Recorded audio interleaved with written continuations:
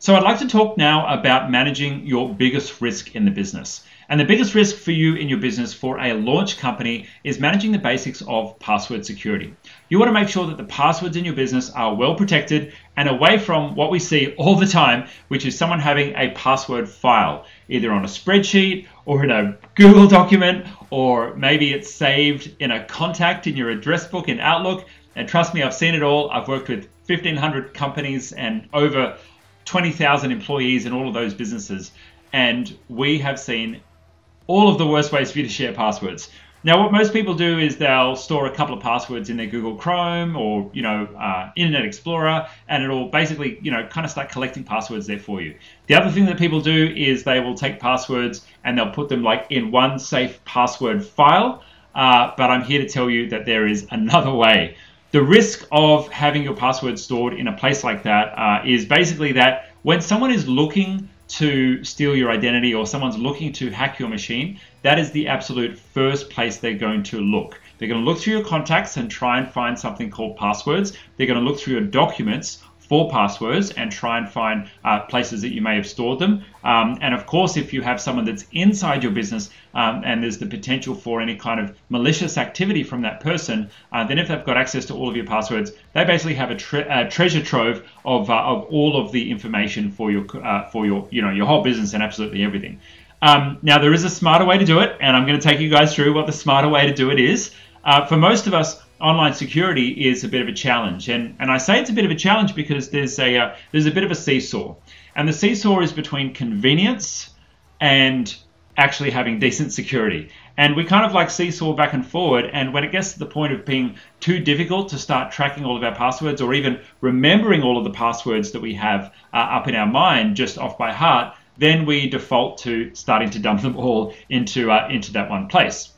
So the most basic passwords are typically, you know, your dog's name and then one, two, three. And I've seen businesses where people have them, you know, the password on their sticky note and they just stick it on the front of their computer. Um, and the challenge is that nowadays, because we have so many different websites to access, uh, it's difficult for us to actually have a unique password for each one of them.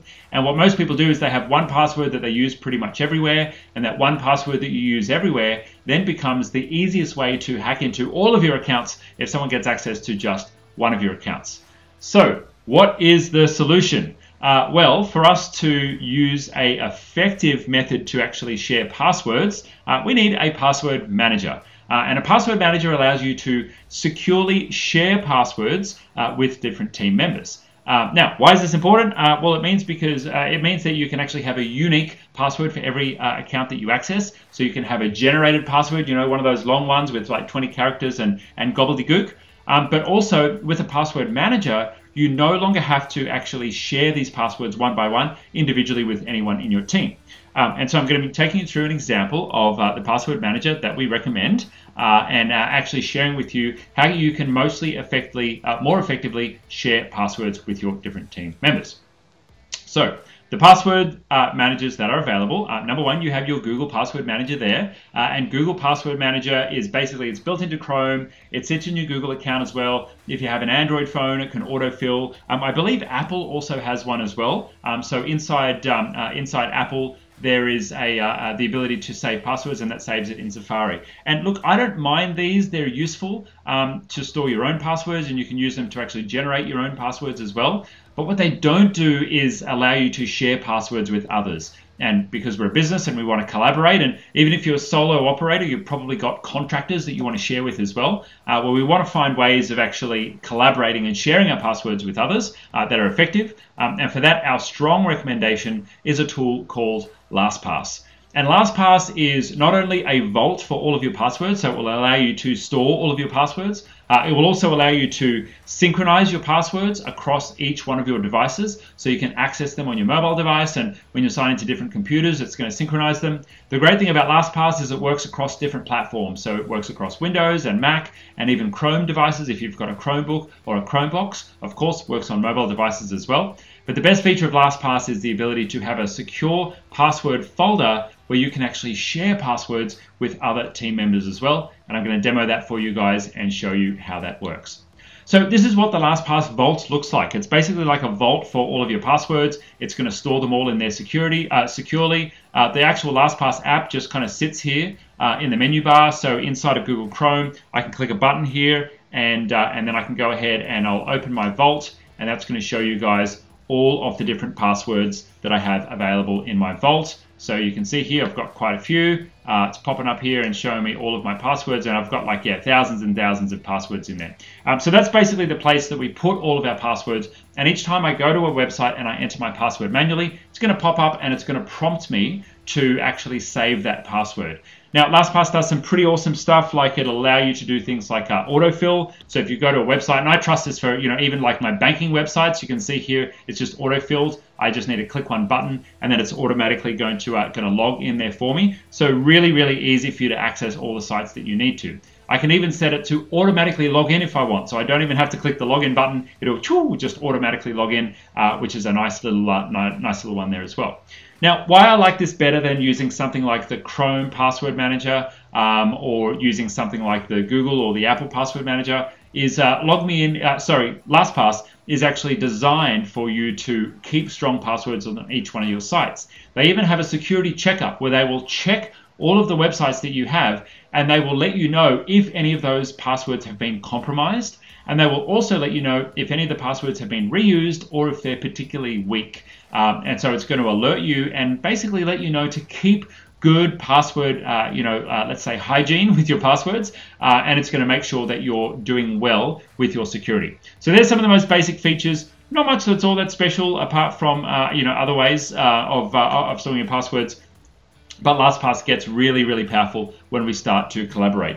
Now, I already shared that you're able to have your password synchronized between your different devices, which is super, super, super duper handy. Uh, but the next thing that LastPass actually lets you do is create shared folders for your team as well. So let's have a look at what those shared folders look like. I'm going to jump into my LastPass vault here. Let's see if I can make that a little bit bigger so you guys can see. Uh, so inside my LastPass vault, you can see I can go down to the sharing center. Uh, and inside the sharing center, I can basically set up folders. So we've got a number of different folders for the different areas of the business here. And then when I choose uh, inside those folders, I can actually choose who sees what inside the folders. Uh, and so from there, uh, you can see I've shared some with Scott, shared some here with Regina. I can choose whether or not it's read-only, so I can choose whether or not they have access to uh, update the passwords. Um, and I can choose if I want to even hide the passwords. And so, for example, let's say I wanted to share my, uh, my bank account with Anna. Uh, well, then when I go to uh, to my bank here, I can go to this um, I can go to this actual password entry, and I can go ahead and share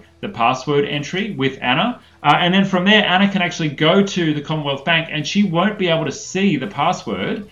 She will only be able to log in without actually seeing the password. Um, and so, great little tools like that allow you to share the login access without actually sharing the password. Now, it's not completely foolproof if you're sharing this with someone. Let's say you've got a uh, external consultant to your business, maybe a marketing consultant, um, or a, you know a, a team member who's working with you as a contractor, and you want to share a password with them. It's not completely foolproof because if someone has access to the account, technically they could go in there and change the email to their own email. So this is not a completely foolproof way of sharing logins. I probably wouldn't use this for uh, banking logins to share with others, um, although obviously I do save my own banking password in there. Um, but this is really, really useful if you have a website that doesn't allow multiple users and you want to share that with your team. I use this often when I sign up for an online course or an online program, and I want my team to access the education as well as myself. Uh, but you know, there's obviously only one user able to access things. I'll save it in LastPass and then I'll share it. And you can see that in this menu here. Um, if I've shared something individually with others, um, you can see here I've shared a few different, uh, few different online courses. Um, and then there's some things that have been shared with me. These are ones that I've received. Um, I've got my receiving ones in there as well. So that's the basics of LastPass and how you can use that for your passwords inside your uh, business. I would recommend that you take all of the passwords right now that are inside Google Chrome or inside Safari and put them all into LastPass. Now there is a wizard available when you first set up LastPass that should suck in all of those passwords. But the other thing that I like to do is actually disable the password mechanism inside of Chrome. And uh, we actually do this across the board across our company via a Google Workspace policy. So if you're already a Google Workspace user and you'd like to roll out LastPass to everyone, we can push down LastPass as a policy to everyone. And we've got other videos on how to do that on our YouTube channel. And then you can switch off the Chrome Password Manager again via a policy inside of Google Workspace. And what that will do is that will actually remove access to the Chrome Password Manager. So everyone is then encouraged to use LastPass for all of their passwords. So let's jump into a bit of Q&A, guys. If uh, you've got any questions that you'd like to send through, please go ahead and send them through. Uh, I've got uh, one from Lynn saying, just joined with IT Genius and I now need to set up my password administration. Um, yeah, good one, Lynn. Super easy to do. Just ask the team um, to roll out LastPass. Oops, still sharing the uh, computer screen there. Uh, just ask the team to um, roll out LastPass for everyone. Uh, and our team can actually do that via a policy for you. That's uh, really easy to do if you're part of our concierge membership. Um, and then the next one is if you want to remove access to the Chrome Password Manager, uh, yeah, just ask our team about that and we'll be able to do that again via a policy. Anna has said LastPass is key. Yeah, LastPass is absolutely awesome. There are some alternatives. Uh, there's one called 1Password and another one called Dashlane. Um, personally, I've not used them myself, um, but if you are a member of Concierge, you can actually get access to some free licenses for LastPass. So if you're interested in that, have a chat to our team. It's a new partnership that we've just announced, uh, but we're actually giving away some free premium licenses to all of our concierge members. Uh, so if you're a concierge member, message the team and ask about LastPass. I hope they don't kill me for announcing it early, uh, but anyway, jump on that one. Just send a message over to IT Genius on Facebook and say Pete, Pete mentioned it on the live, and hopefully they, they don't uh, they don't kill me. Okay.